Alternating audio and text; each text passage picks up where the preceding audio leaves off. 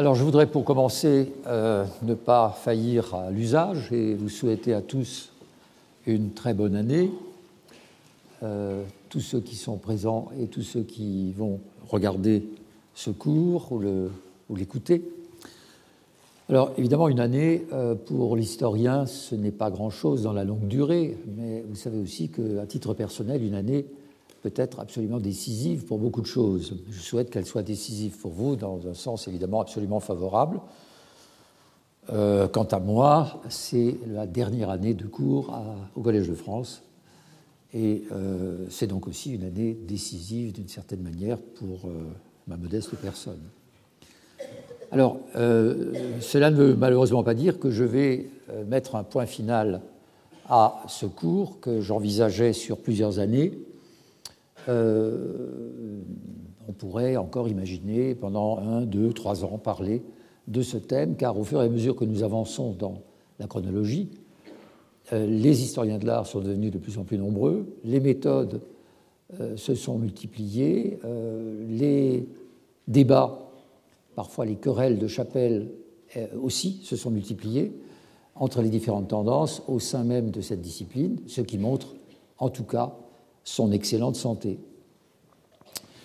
Alors, euh, je vous signale d'une manière très schématique, et euh, cependant c'est ce programme-là que nous suivrons, quel, quel, est le plan de secours cette année? Eh bien, euh, la première euh, séance sera consacrée, après un retour rapide à Winkelmann, à la question des antiquaires, c'est-à-dire ces hommes qui se sont consacrés à l'étude euh, du monde ancien, des mondes anciens. la deuxième heure sera sans doute consacrée à la même question, mais en essayant de la prolonger d'une façon chronologique, même jusque dans les années 1830, car c'est à ce moment-là euh, c'est un tournant même entre 1820 et 1830, c'est à ce moment-là que euh, la France, d'ailleurs par la voie de la Normandie, introduit et tout un vocabulaire et euh, tout un ensemble de conceptions du monument tel que l'avait déjà élaboré l'antiquariat anglais.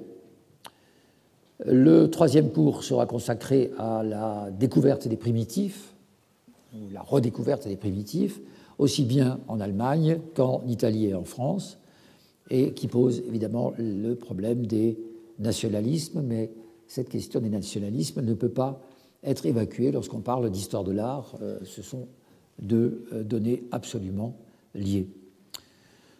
Euh, le cours suivant sera consacré à une question que j'ai intitulée Les musées de papier.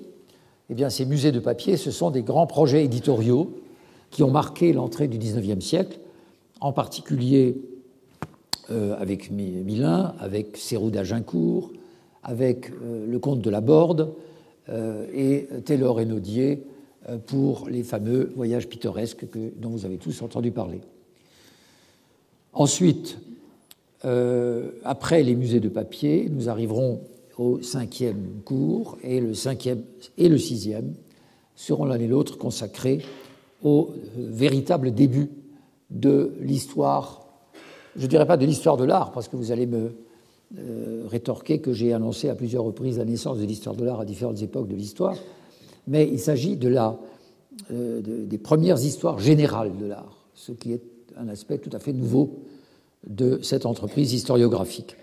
Et je pense donc que ce cours euh, prendra facilement deux heures. Et puis il y aura une pause d'une semaine et enfin je terminerai par une leçon terminale, comme son nom l'indique, que je consacrerai à un aspect très particulier de notre travail et en particulier de mon travail. Pour l'instant, je n'en dirai pas plus. Donc, regardez l'art, en écrire l'histoire. Troisième partie.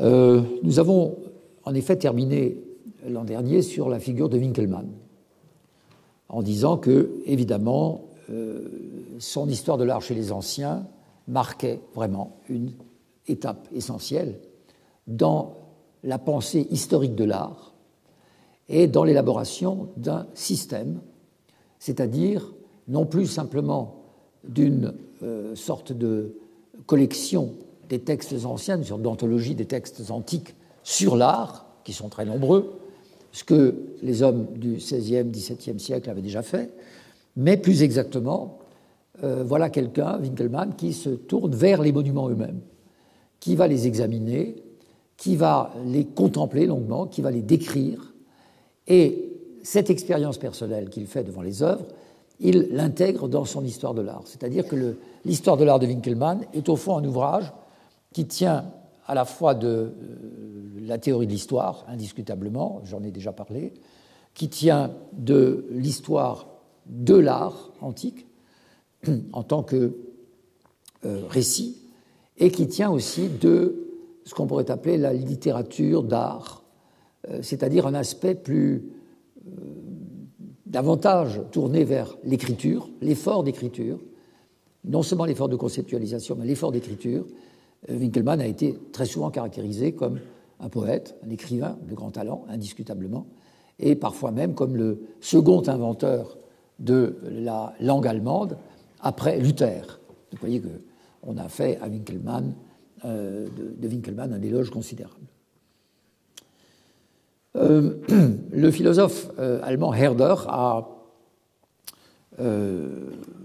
déclaré au moment où Winkelmann publiait son livre que Winkelmann s'était trouvé, je cite, dans une forêt de 70 000 statues et bustes peut-être que l'on comptait alors à Rome.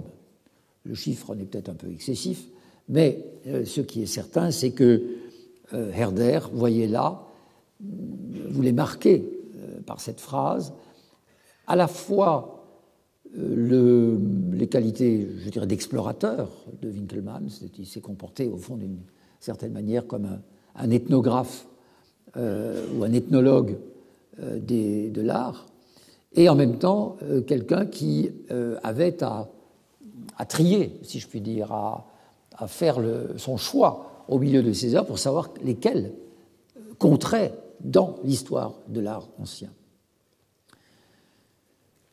Son œuvre ne peut pas être considérée, euh, dit Herder, simplement comme une vaste ruine ou comme le tableau d'une ruine, mais comme une histoire de l'art, donc comme un système. Mais un autre euh, contemporain, Christian Gottlob Heine, je vous ai écrit ces noms là pour qu'il n'y ait pas de problème d'orthographe, lui, de son côté, considère que Winkelmann, dans l'établissement de son répertoire, s'est en effet comporté tel un explorateur de la nature qui procède selon un principe de classification.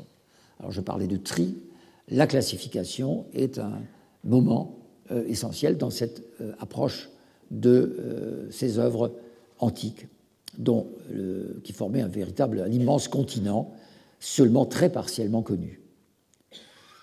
Alors c'est par cette idée de classification que commence la science, d'une certaine manière. Dans son voyage en Italie, euh, Goethe, auquel je reviens de temps à autre, euh, évoque en date du 3 décembre 1786, je cite, une courte citation, Même les antiquités romaines commencent à m'intéresser, dit Goethe.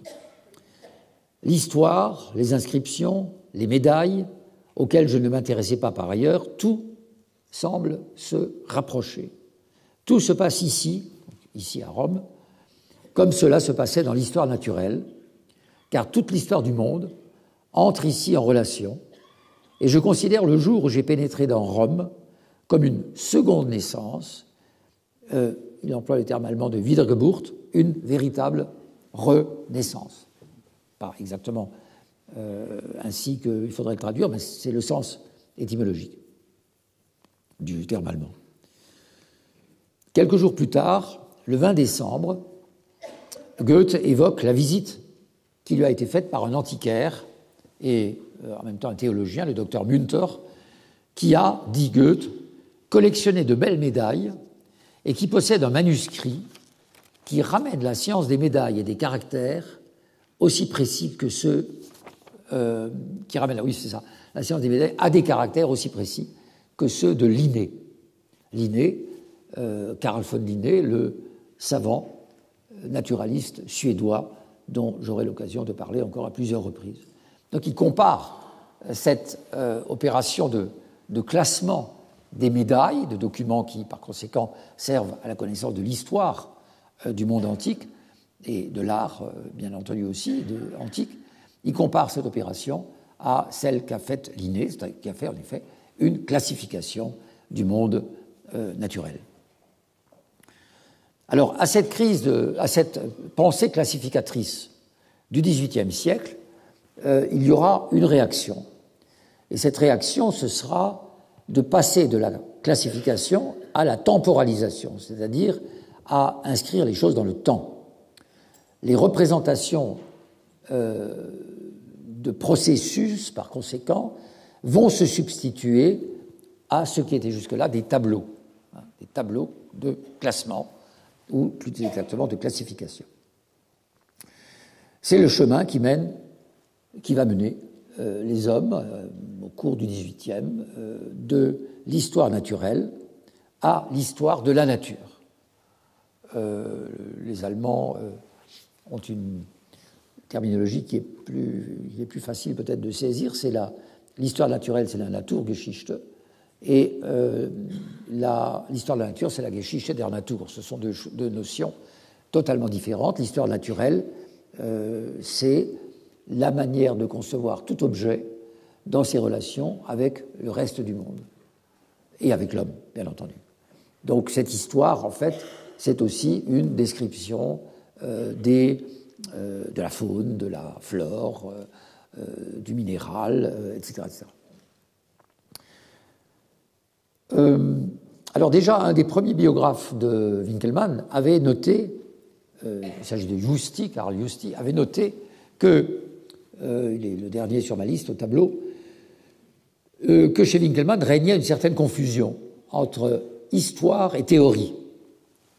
Euh, confusion qui, en effet, est aussi sensible dans l'histoire naturelle du XVIIIe siècle. longtemps, concevoir une historicité de la nature consistait à lutter contre des résistances d'ordre cognitif et théologique. Alors Diderot, par exemple, trouve un compromis entre ces deux euh, problèmes, ces deux aspects de, de l'attitude vis-à-vis de la nature, en disant que ce n'est pas la nature qui a une histoire, mais la science de la nature. il y a là une distinction extrêmement importante euh, qui tend en effet à donner à l'histoire euh, sa place en tant que telle. Alors, en ce qui concerne cet aspect tellement euh, essentiel qu'est la description des œuvres d'art, nous avons vu cette longue évocation qui a commencé il y a maintenant trois ans, enfin deux ans très exactement, nous avons vu que les premiers personnalités, les premières personnalités à s'intéresser à son histoire, était essentiellement intéressé par l'évocation de noms, la juxtaposition de noms propres, euh, l'élaboration de courtes biographies et l'exaltation de la gloire, euh, j'allais dire, euh, municipale ou, ou, nationale. La description des œuvres relève d'un autre registre, c'est-à-dire à la fois d'une attention nouvelle aux œuvres d'art et d'un souci de faire passer dans l'ordre du concept et du langage ce qui est de l'ordre du visuel. Comment des formes, euh, comment des configurations euh, formelles peuvent-elles être traduites dans le langage. Et en parlant de Winkelmann, je n'avais pas eu euh, l'occasion l'an dernier d'insister sur la mutation qui s'opère dans sa pensée entre deux formes de description. Euh, mutation qui nous fait assister, en fait, je crois réellement, à la naissance d'une histoire de l'art. C'est-à-dire que d'une de la description à une autre, il nous fait entrer dans ce qui est vraiment l'originalité de son livre, à savoir que des descriptions extrêmement sensibles, euh, mobilisant souvent un vocabulaire extrêmement nouveau, nous conduisent peu à peu à euh, passer d'une œuvre à l'autre, en même temps que ces œuvres sont inscrites dans une trame narrative. Alors je vais d'abord vous lire une description du torse du belvédère, ce torse que nous avons regardé euh, l'an dernier, mais je vais vous le remontrer là euh, pour les, nouveaux auditeurs.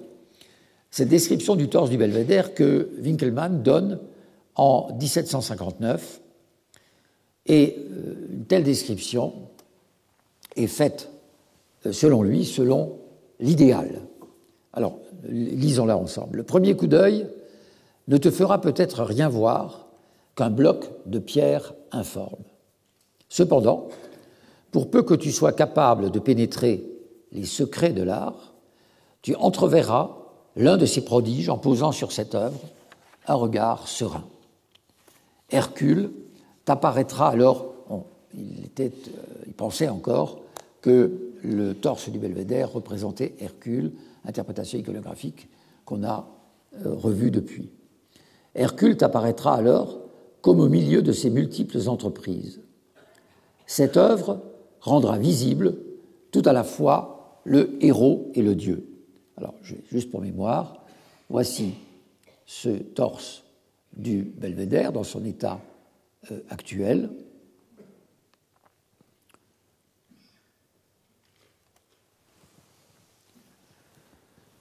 L'artiste a commencé là où les poètes se sont arrêtés. Euh, cette phrase est très intéressante. Euh, il veut dire par là que euh, les poètes qui ont parlé du dieu Hercule, à un moment donné, n'ont pas pu donner toute la dimension du personnage historique, enfin historique, mythologique et légendaire. Et c'est par conséquent l'artiste, le sculpteur, ça pourrait être le peintre, qui prend en quelque sorte le relais euh, du poète. Alors ces derniers, donc ces poètes, se taisent dès que le héros est admis parmi les dieux et devient l'époux de la déesse de l'éternelle jeunesse. Mais l'artiste, lui, nous montre un Hercule doté d'une force, d'une forme pardon, divine et d'un corps, pour ainsi dire, immortel, bien qu'ayant conservé la puissance et la légèreté que requéraient les travaux accomplis. Il y a là donc passage d'une évocation poétique qui ne peut euh, que euh, se faire succéder, je dirais, des images euh, très évocatrices dans l'esprit du lecteur, mais qui ne vont jamais jusqu'à donner forme, jusqu'à incarner en quelque sorte ce personnage mythologique lorsqu'il est devenu Dieu. Le passage du statut héroïque au statut divin a entraîné le passage d'un ordre euh, de l'imagination, la poésie, à un autre, la euh, création plastique.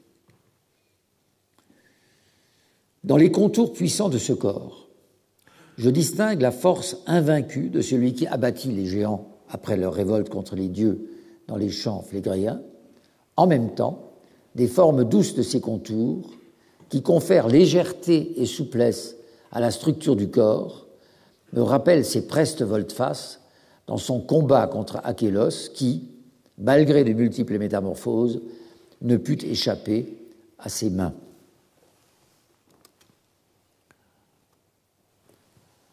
À travers chacune des parties de ce corps, le héros tout entier, comme dans un tableau, se révèle en train d'exécuter l'une de ses actions.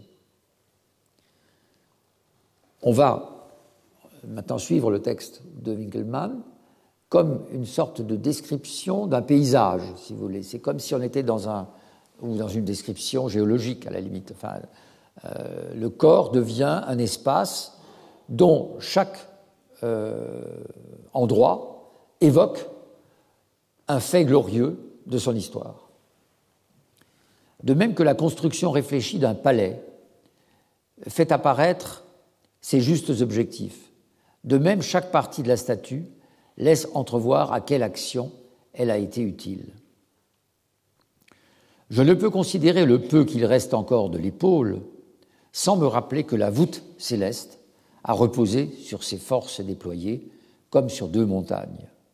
Quelle grandeur dans le gonflement de la poitrine et quelle admirable beauté dans l'arrondi naissant de sa cavité. C'est sans doute par cette poitrine que le géant Hanté et le géant Gérion, aux trois troncs, ont été écrasés.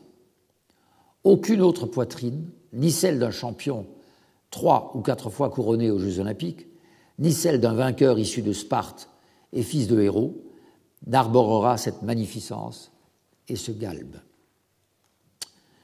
Alors, dans cette description, euh, il y a deux éléments extrêmement importants.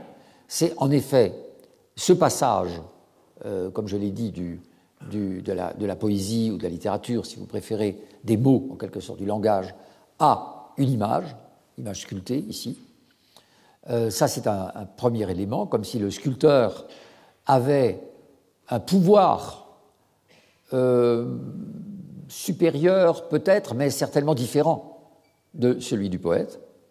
Et la deuxième donnée importante que nous livre Winkelmann dans ce texte, c'est évidemment cette comparaison entre le corps de cette euh, figure et ce qui serait un tableau ou ce qui serait un palais, une architecture. Moi, j'ai parlé de géographie ou de géologie.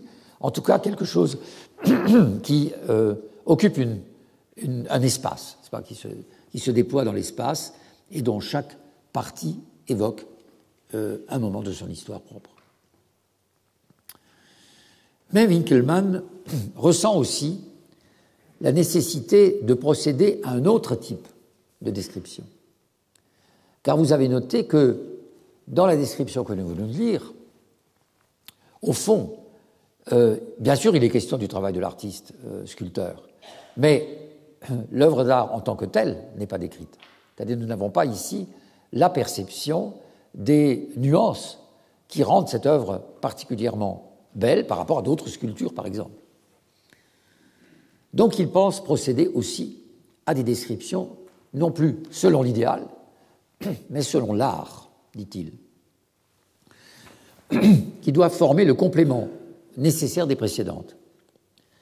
Et ces descriptions doivent être non poétiques, non psychologisantes, non narrative. Il cherche là à rédiger des textes qui restent au plus près de la réalité, euh, j'allais dire, matérielle de l'objet. Et euh, il est très intéressant de signaler que ces essais sur la description selon l'art euh, ont été trouvés dans les archives florentines. Et lorsqu'elles ont été, découvertes, on a cru qu'il s'agissait en fait qu'elles étaient des versions préalables aux descriptions que je viens de lire. Or, il n'en est rien, en fait. Ces euh, descriptions, selon l'art, euh, appartiennent à une phase euh, ultérieure, donc ce ne sont pas du tout des projets de description selon l'idéal, c'est une phase ultérieure, et où Winkelmann s'intéresse à la question du faire artistique, mais aussi à la localisation des œuvres dans l'espace et dans l'histoire. Alors voici un passage d'une de ces descriptions, cette fois de l'Apollon du Belvédère.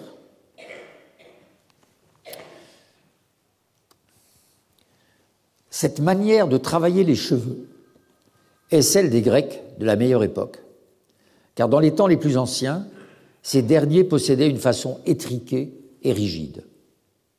Ils donnaient à leurs cheveux une allure mouillée, à la manière des Égyptiens et des Étrusques, comparée entre parenthèses, le bas-relief de Callimaque au Capitole. À l'époque de Phidias et d'Alexandre, cependant, ils mirent de la souplesse dans le traitement des cheveux. Sous l'Empire romain, cette façon fut de nouveau abandonnée. De l'époque de Néron à celle de Trajan, on retomba quelque peu dans le tout premier goût. Mais lorsque l'art fut descendu plus bas encore, les artistes mirent plus d'application dans ces choses subalternes, donc le traitement de la chevelure, et davantage de négligence dans les choses plus importantes. C'est pourquoi nous trouvons de Marc Aurèle à Septime Sévère et Caracalla les cheveux les plus méticuleux. Euh, c'est une analyse extrêmement intéressante qui est en effet de l'ordre de l'histoire de l'art, du formalisme euh, propre à une certaine histoire de l'art, puisqu'en quelques lignes, il trace d'une manière, je dirais, très rapide et très arbitraire. Il se trompe, il, commet beaucoup d'erreurs dans ce qu'il dit. Néanmoins, il fait l'effort de tracer une sorte d'histoire du traitement de la chevelure dans la sculpture antique. En quelques euh, aperçus euh, qui sont finalement, euh, qui contiennent finalement une leçon pour l'histoire de l'art, à savoir que les périodes de décadence ne doivent pas entraîner nécessairement l'abaissement de la qualité plastique et qu'il y a une sorte de euh, il sous-entend qu'il y a une sorte d'équilibre, de, compensation, de, pondération entre les choses subalternes et les choses plus importantes, et que la décadence entraîne un raffinement dans les choses subalternes et au contraire une baisse de qualité dans les choses importantes. C'est une très belle idée, c'est une idée qui n'est pas du tout fausse, même s'il faut, ne faut surtout pas la généraliser. Donc, au fond, ce qu'il a fait ici, c'est euh, d'entreprendre une, véritable étude euh, stylistique historique, donc l'histoire du style. Voilà, donc c'était ces aspects de Winkelmann que je voulais encore, sur lesquels je voulais absolument revenir, avant de poursuivre. Et l'articulation avec la véritable première partie euh, de ce cours de cette année, c'est-à-dire avec euh, l'apparition des grandes figures d'antiquaires, la transition est relativement aisée. Vous allez voir pourquoi. J'opère un léger retour en arrière. Euh, j'avais déjà l'an dernier défini l'antiquaire, en décrivant en particulier les travaux menés à Rome au milieu du XVIe siècle, sous l'instigation de la curie romaine, afin de conserver tous les témoins des origines de la chrétienté, en particulier de euh, Saint-Pierre de Rome. Mais le terme antiquarius désigne quelqu'un qui s'intéresse aux monuments, aux témoignages matériels, à l'histoire de l'art et à l'histoire naturelle, à l'ethnographie et je dirais accessoirement à l'art. Je dis l'histoire de l'art, mais à l'art lui-même, euh, souvent, cela reste encore très accessoire, surtout au milieu du XVIe siècle. Alors celui que l'on considère euh, comme le premier historien de la France, historien, André Duchesne, historiographe du roi Louis XIII, euh, qui a publié en 1618 sa bibliothèque des auteurs qui ont écrit l'histoire et la topographie de la France, c'est aussi celui qui, dès 1609, donc tout au début du XVIIe siècle, a publié un ouvrage dont je vous donne ici le titre, Les Antiquités et Recherches des villes, châteaux et places plus remarquables de France, avec une édition revue et corrigée par son fils ultérieurement, qui était lui-même historien.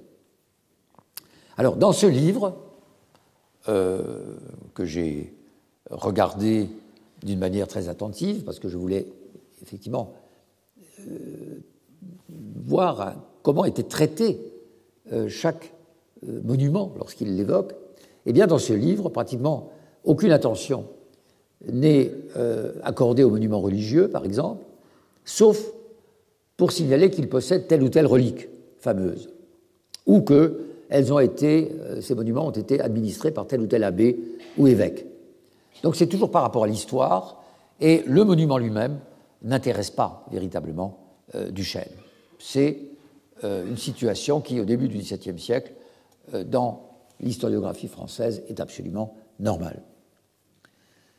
Et en étudiant un peu Winkelmann, j'avais eu l'occasion au moins de vous signaler l'an dernier qu'il avait un ennemi, une sorte de bête noire, euh, qui, euh, on ne s'en étonnera pas, était français, ou était française, la bête, euh, car Winkelmann était très hostile aux Français, il n'aimait pas beaucoup les Français, et cet homme, c'était Kellus. Kellus, dont, malgré l'animosité qu'il lui portait, il a reconnu un jour qu'il lui revenait, je cite, d'avoir pénétré l'essence du style des anciens peuples. Tout de même euh, reconnu la grande euh, sagacité de son contemporain.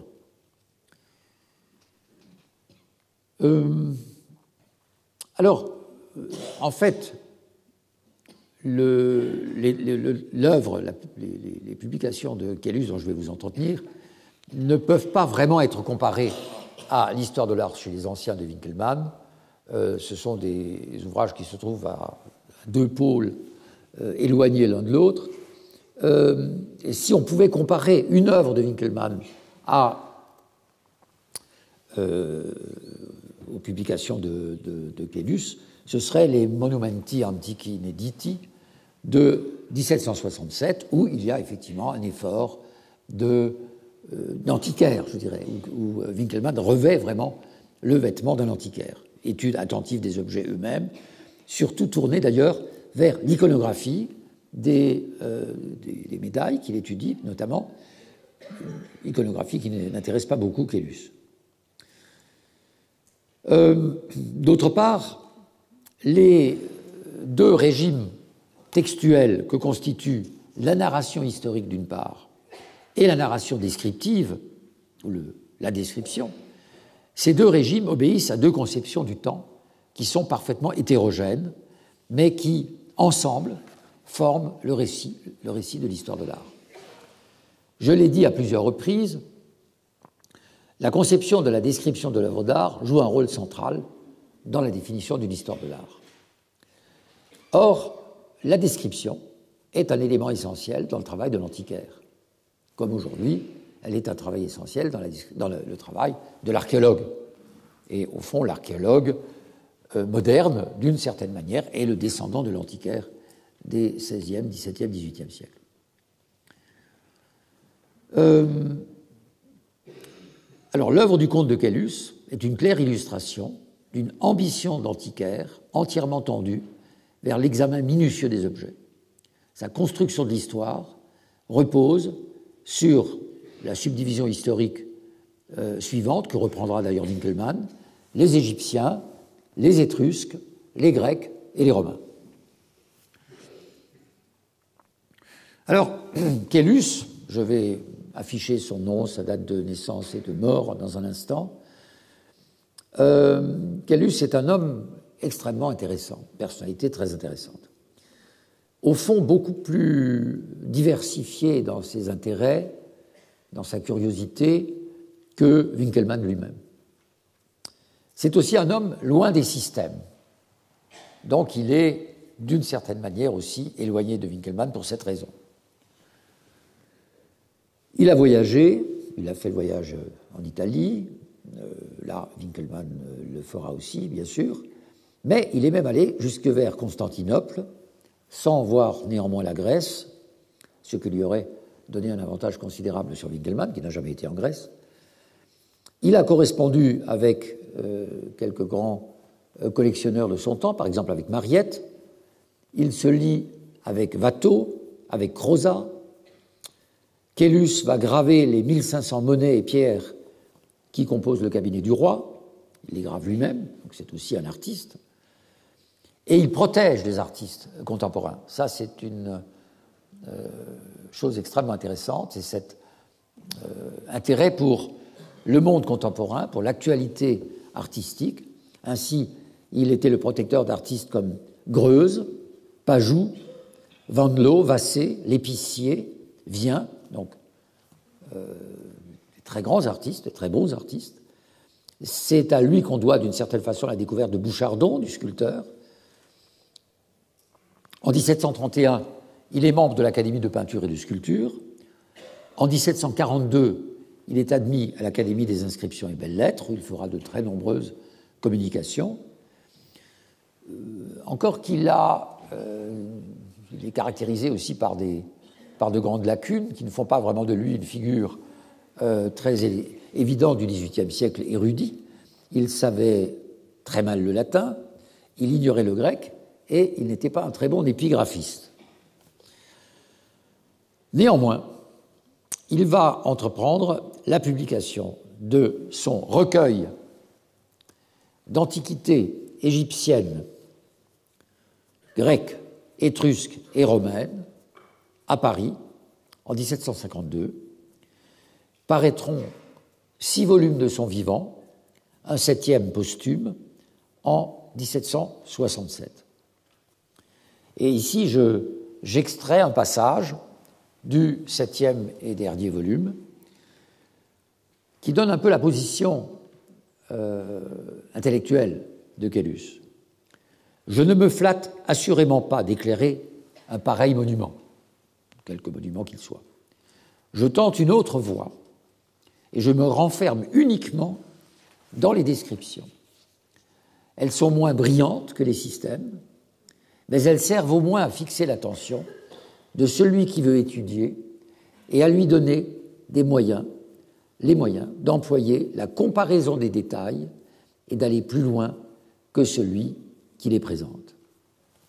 En d'autres termes, une bonne description sera une sorte de protocole qui peut même et qui doit survivre à la disparition d'un objet matériel, d'une œuvre, protocole sur lequel les progrès de la connaissance ultérieure pourront prendre appui. D'une certaine façon, il nous a bien défini là le travail de l'antiquaire comme analogue au travail du savant naturaliste. Euh, précisément dans euh, euh, ce parallèle entre les deux, savant naturaliste et, et antiquaire, il faut peut-être rappeler qu'en 1752 a été créée la première chaire de physique expérimentale au Collège de Navarre, c'est-à-dire au Collège de France, à Paris, pour l'abbé Nollet. L'abbé Nollet qui était un élève de Réaumur et euh, qui a publié justement des leçons de physique expérimentale de 1743 à 1748. Euh, ce sont des, euh, des, des, moments très importants dans la vie intellectuelle en France que, évidemment, quelqu'un comme Caylus ne pouvait pas et n'ignorait absolument pas.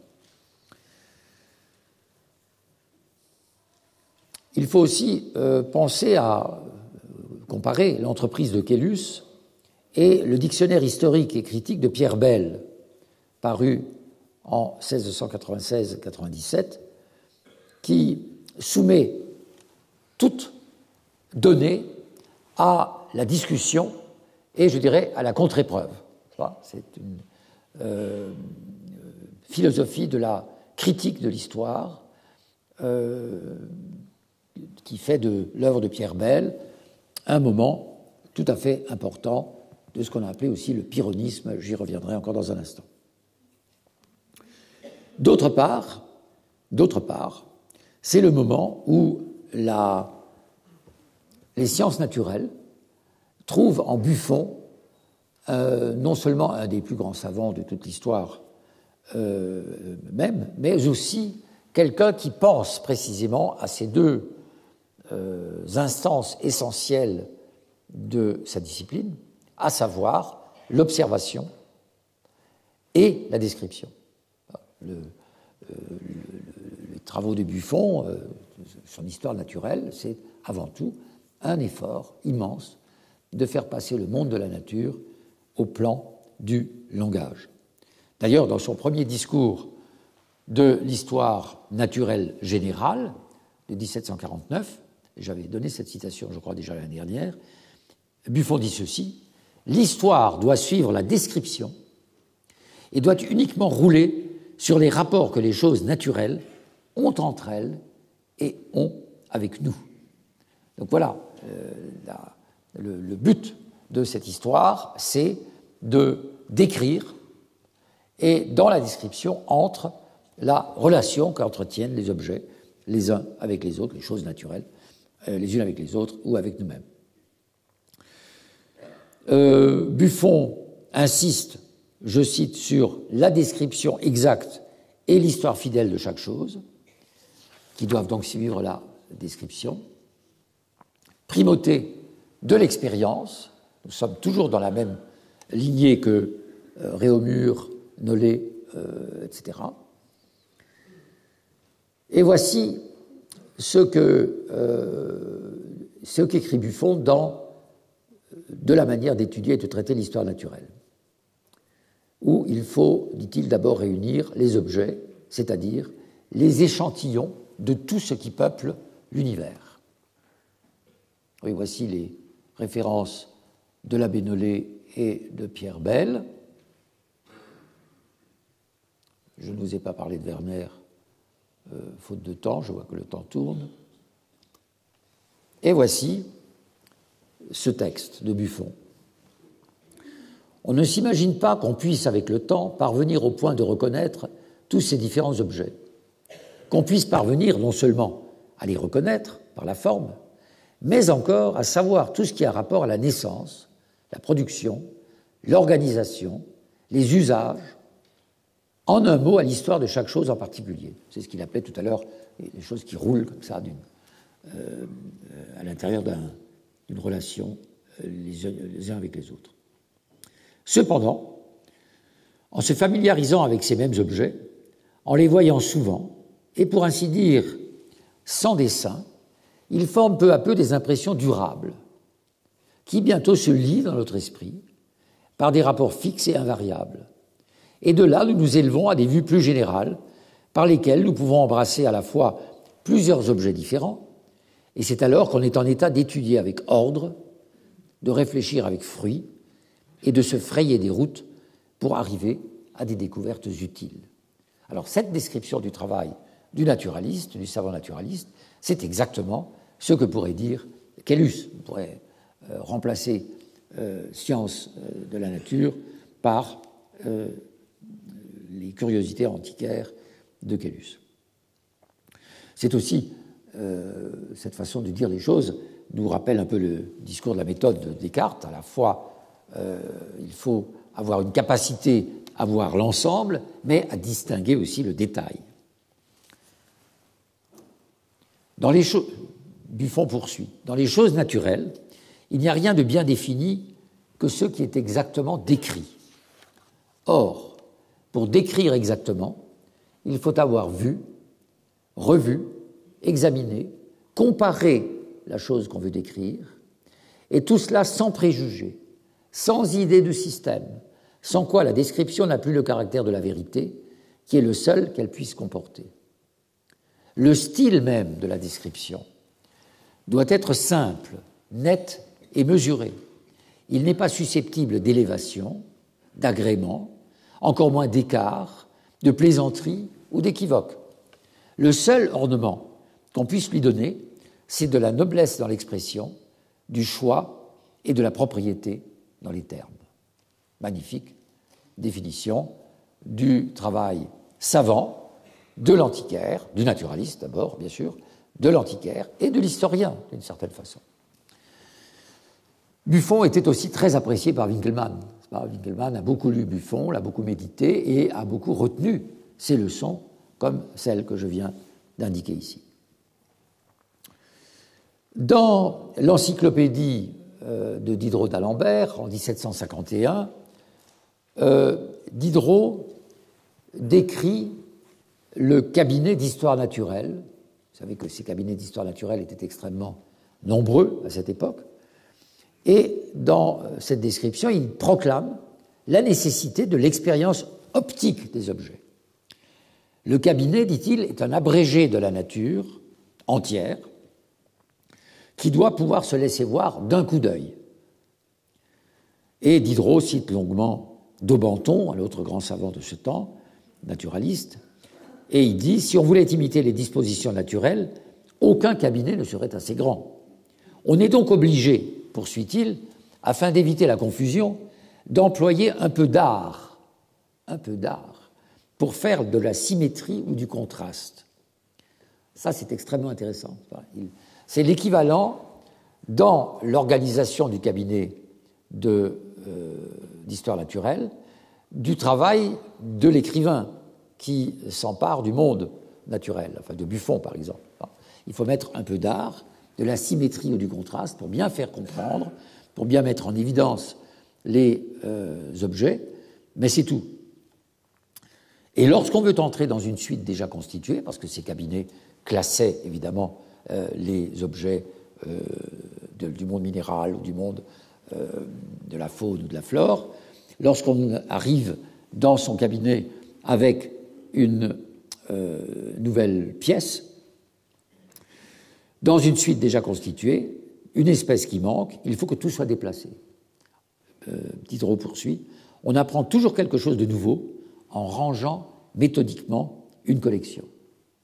Car dans ce genre d'études, plus on voit, plus on sait. Avis aussi aux amateurs de désordre.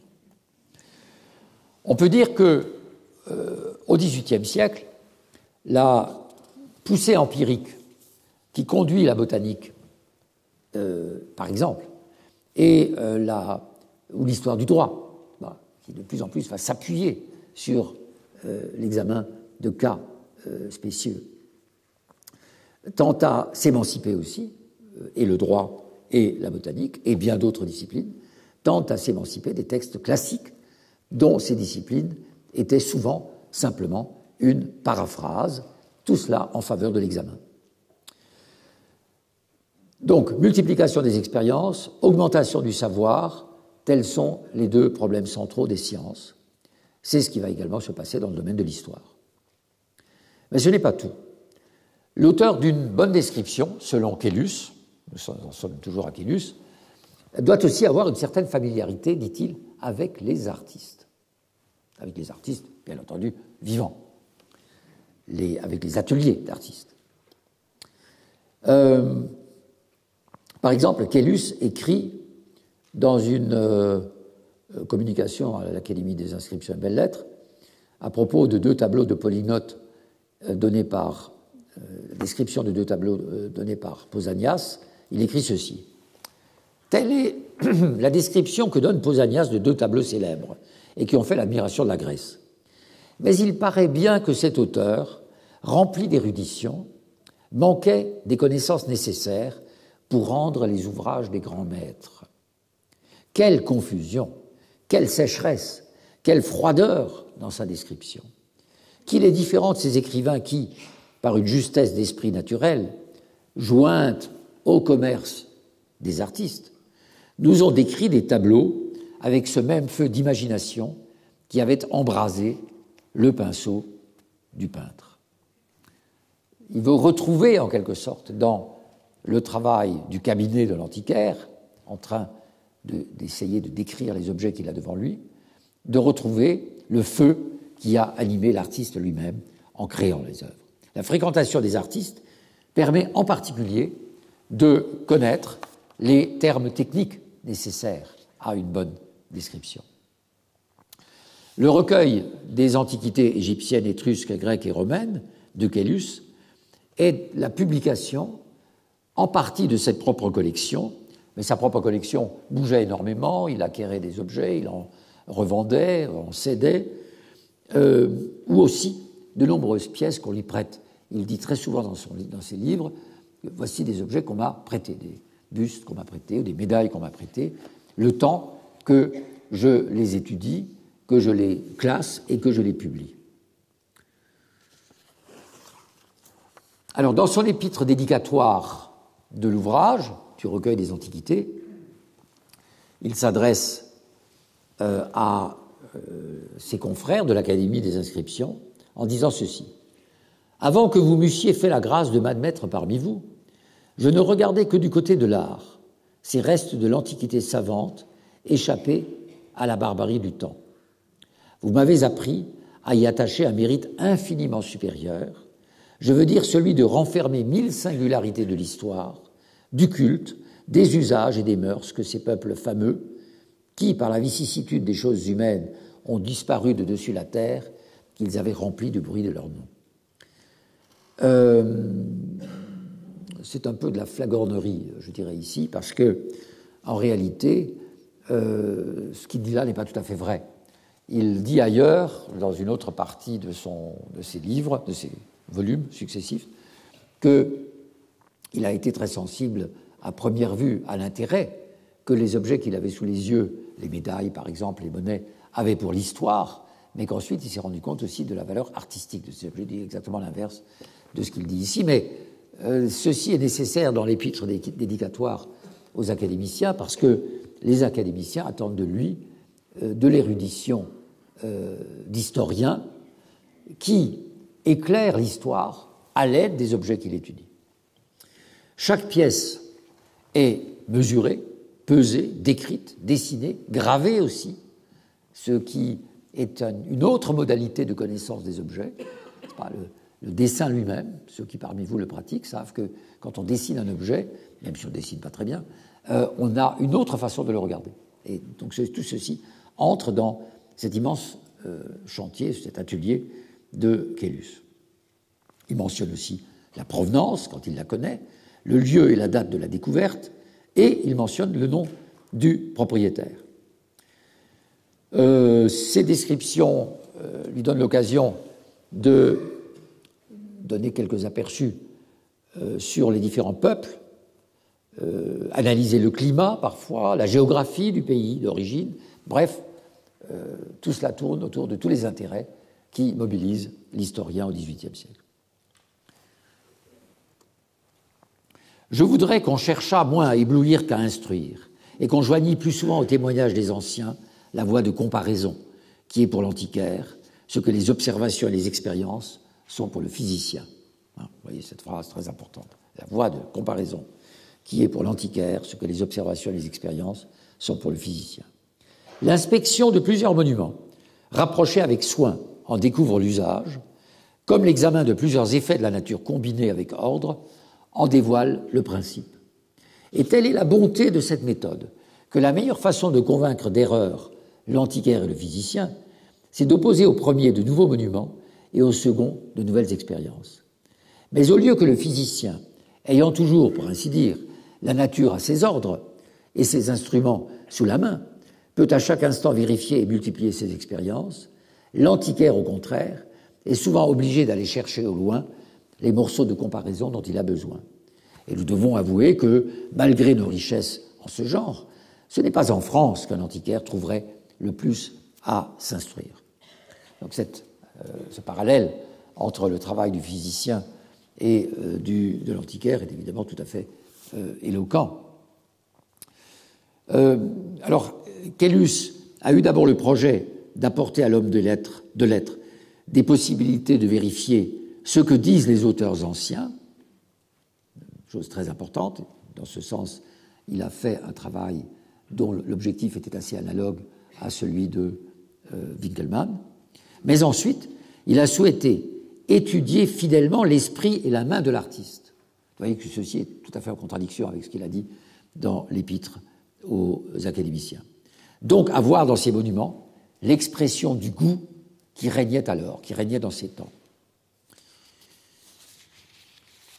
Alors, deux aspects doivent être étudiés, euh, me semble-t-il, par rapport à l'antiquaire. Son rapport à la philosophie et son rapport à l'histoire. Au XVIIIe siècle, l'antiquaire s'oppose et est souvent opposé dans des, textes à, au philosophe. Ce dernier considère en effet que l'antiquaire est dépourvu d'esprit critique, qu'il est dépourvu d'esprit philosophique qu'il incarne même la présomption et la vanité. Euh, Chardin a représenté euh, un antiquaire dans son cabinet sous la forme d'un singe. L'attitude du philosophe Pope, par exemple, ou d'Horace Walpole, est tout à fait, va tout à fait dans ce sens. Hein. Euh, alors, il y a en même temps ce débat entre philosophe et antiquaire est intéressant parce que il révèle aussi qu'il se produit des mutations euh, importantes au plan sociologique au XVIIIe siècle. La noblesse fréquente les sociétés savantes qui se multiplient en Europe et donnent naissance à euh, ce qu'un historien de ces problèmes a nommé un nouvel humanisme. C'est d'Angleterre que partent le, euh, le le Celtic et le Gothic Revival, et ensuite c'est euh, Renaissance ou euh, Revival, c'est comme ça qu'il faut les appeler, euh, et sur l'Europe.